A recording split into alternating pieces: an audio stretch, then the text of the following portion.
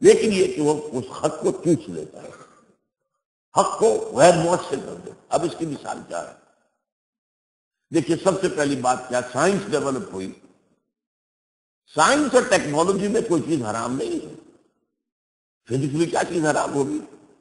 Chemistry میں کیا چیز حرام ہوگی؟ یہ تو کوئی حرام کیا نہیں۔ اور سائنس اور ٹیکنالوجی سے جو اسلحہ بنا، وہ بھی حرام نہیں ہے۔ اس کا استعمال اگر غلط ہو رہا ہے تو حرام ہو جائے گا۔ اور یہ سائنس جو ڈیولپ ہوئی ہے، علامہ اقبال نے ایک بات کہی ہے، وہ میں بعد میں آپ سے عرض کروں گا۔ اس سائنس کا سارا کا سارا جو ہے معاملہ، وہ قرآن مجید کی بنیاد پر ہے۔ قرآن میں پوری کائنات کے اندر اللہ کی آیات آیات۔ ان فی خلق السماوات والارض واختلاف الليل والنهار والفلك التي تجري في البحر بما ينفع الناس۔ وما انزل الله من السماء من ماء واحيا به الارض بعد موتها وبث فيها من كل دابة وتصريف الرياح والسحاب المسخر بين السماء والارض لآيات لقوم يعقلون یہ سب نشانیاں ہیں اللہ کی۔ ان تمام فنومنا جو نیچر ہے اللہ کی نشانیاں قرار دیا اس سے یہ ہے کہ ان کو پڑھو، ان کو سمجھو، آیات آفاقیہ، آیات انفسیہ اور آیات قرآنیہ یہ تینوں جب آپ جڑ جائیں گی، تب تمہیں علم اور معرفت حاصل ہو آیات آفاقی، آیات انفسی۔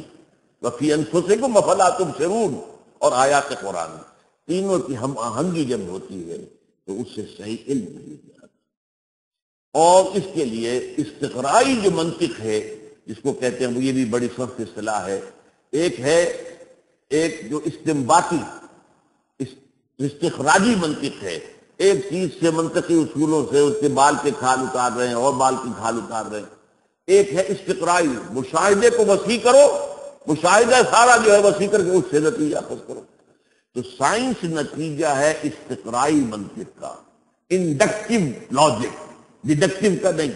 ارسطو کی منطق ڈیڈکٹیو ہے استخراجی ہے۔ اور قرآن نے بتائی ہے اصل میں انڈکٹیو لاجک جو ہے انڈکٹیو لاجک جس سے سائنس بنی پہلی بات تو یہ سمجھ میں آ گئی، لیکن سائنس پروان کہاں چڑھی، ہمارے ہاں نہیں چڑھی۔ بنیادیں ہم نے دی بنیادیں ہم نے جو ہے، جو اسپین کی یونیورسٹیوں کے ذریعے سے یورپ میں داخل کی لیکن ڈیولپ وہاں ہوئی، ہم نے سنی یہ بجلی کس نے ڈیولپ کی ہم استعمال کر رہے ہیں۔ یہ لاؤڈ اسپیکر کس نے بنایا؟ ہم استعمال کر رہے ہیں۔ یہ ٹرینیں کس نے ایجاد کی تھی؟ ہوائی جہاز کس نے ایجاد کی تھی؟ ہم استعمال کر رہے ہیں۔ ان چیزوں میں کوئی شے حرام نہیں ہے۔ ہاں ان کا استعمال حرام ہو جائے گا۔ نمبر دو، جو سوشل کانسیپٹ دیے تھے اسلام نے، آزادی، مغرب نے اسے مادر پدر آزادی بنا دی۔ ہر شے سے آزادی۔ اللہ سے بھی آزادی، مذہب سے بھی آزادی، آسمانی ہدایت سے بھی آزادی، کتابوں سے بھی آزادی۔ آزادی آزادی آزادی آزادی۔ اسلام نے دی تھی، حریت اسلام نے دی تھی۔ بیسک جو ویلیو ہے، وہ اسلام کی عطا کرتا ہے۔ لیکن یہ جو اس کو مادر پدر آزاد بنا، یہ مغرب نے بنا۔ عورت کو مرد کے بالکل برابر کر دیا۔ نتیجہ کیا ہوا؟ خاندان ختم ہو گیا۔ اب شوہر اور بیوی کے دونوں، ہمارا دونوں کا اختیار برابر ہے۔ تو چلے گا ادارہ۔ کوئی ادارہ چل سکتا ہے؟ جس کے ہیڈ جو ہے، دو ہو آپ کو ہیڈ تو ایک رکھنا پڑے گا۔ آپ کی کوئی کمپنی ہے کاروبار کے لیے؟ مینیجنگ ڈائریکٹر ایک ہوگا ڈائریکٹر آپ سو رکھ لیں کوئی پرواہ نہیں مینیجنگ ڈائریکٹر تو ایک ہوگا پریزیڈنٹ تو ایک ہی ہوگا دو تو نہیں ہو سکتے اس اعتبار سے وہ جو بھی آزادی کا اسلام نے بیسک تھوک دیا انسان کی انسان کی غلامی سے نجات دی اس کو انہوں نے آگے بڑھا کر آزادی کا نعرہ لگا کر اور اس کو مادر پدر آزاد کر دیا بیسک ہی قرآن کا دیا ہوا مساوات. لکیلا یقون دولتم بین الاغنیاء منکم. دولت جو ہے صرف تمہارے اغنیاء کے ماں بہن نہیں گردش میں رہنی چاہیے کس نے دیا؟ اسلام نے دیا، قرآن نے دیا. کمیونزم نے مساوات کا نعرہ لگا کر، اور وہ جو نظام تجویز کیا، وہ بالکل غیر فکری نظام. اب میں آپ کو اقبال کا جملہ سنا رہا ہوں، جو ان کے خطبات ہیں reconstruction of religious for Islam اس کے دیواچے میں کہتے ہیں the inner core of the present Western civilization is Quranic. Inner core ایک ہے، اس کے گرد جو ہے وہ غلاف ہے یہ غلاف مغرب نے جو ہے غلط چڑھا دیا اس کے اوپر۔ ورنہ کور کیا ہے؟ سائنس کا کور قرآن۔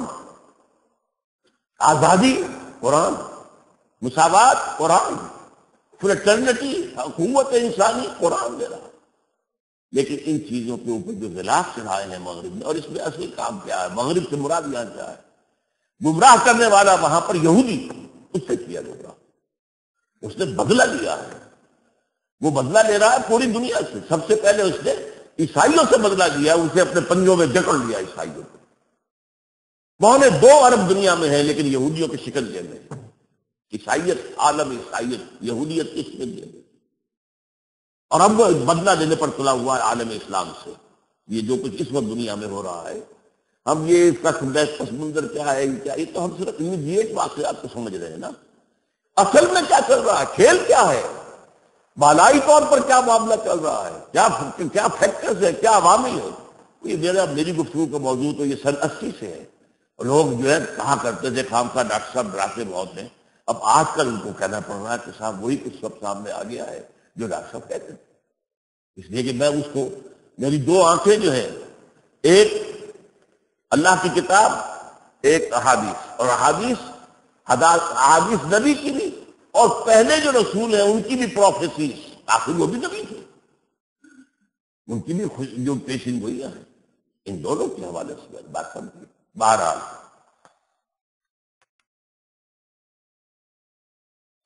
اچھا اس کا جو حاصل میں نکالنا چاہتا ہوں، کہ اسینشل خلافت میں نے تین باتیں منگائی۔ اس کے ساتھ اب انسٹیٹیوشنز جو ادارے بنائے ہیں مغرب نے وہ ہمیں اختیار کرنے ہیں۔ این خلافت راشدہ کا ریپلکا اس کی کاپی جو ہے کاربن کاپی دنیا میں نہیں آ سکتی۔ اب جو آئے گا، وہ کیا ہوگا؟ نمبر ایک۔ دیکھیے، اس تھوک نے دنیا میں معین کیا ہے۔ ریاست اور ہے، حکومت اور ہے۔ اسٹیٹ پاکستان۔ حکومت پیپلز پارٹی کی یا کسی اور کی یا اس کی یا اس کی۔ ہم لائل کس کے ہیں؟ ریاست کے۔ حکومت کے لائل نہیں ہے حکومت بدلنے کا ہمارا حق ہے۔ سمجھ گئے آپ؟ انتخابات کے ذریعے سے بدل دیں یا کسی عوامی تحریک کے ذریعے سے بدل دیں ہمارا حق۔ یہ پہلے تو نہیں تھا دنیا میں نا۔ یہ تین پلرس ایگزیکٹو یعنی حکومت، انتظامیہ۔ نمبر دو لیجسلیٹو قانون سازی۔ اور نمبر تین جوڈیشری اب یہ جو تین ادارے ہیں، ظاہر بات ہے، اس طرح علیحدہ علیحدہ ڈیمارکیٹڈ علیحدہ علیحدہ معین طور پر خلافت راستہ میں موجود نہیں ہے۔ یہ مغرب نے ڈیولپ کیا ہے۔ اچھا لیجسلیشن میں وہ معاملہ آ رہا ہے اب۔ بہت سے لوگ سمجھتے ہیں کہ اب قانون سازی کی کیا ضرورت ہے؟ قانون تو سارا موجود ہے۔ ارے بھائی نہیں ہے قانون سارا۔ نئے نئے مسائل پیدا ہو رہے ہیں دنیا کے اندر۔ اس میں مزید قانون سازی کرنی پڑے گی نا۔ آخر اشتہار کا دروازہ کیوں رکھا گیا دین کے اندر؟ اب وہ لیجسلیشن جو ہے، وہ اشتہار جو ہوگا، وہ لیجسلیشن کے ذریعے سے ہوگا۔ یہ بات علامہ اقبال نے کہی، لیکن سمجھی لوگوں نے غلط ہے، ان کا بیٹا بھی غلط سمجھتا ہے اس کو۔ اقبال نے کہا کہ اب جو ہے اشتہار وہ بذریعہ پارلیمنٹ ہوگا۔ اب لوگ یہ کہتے ہیں، جو سکر، اس کا مطلب یہ پارلیمنٹ جو طے کر دے، بس وہی ٹھیک ہے۔ ختم غلط۔ اشتہاد کے بارے میں دو باتیں الگ سمجھ لیں۔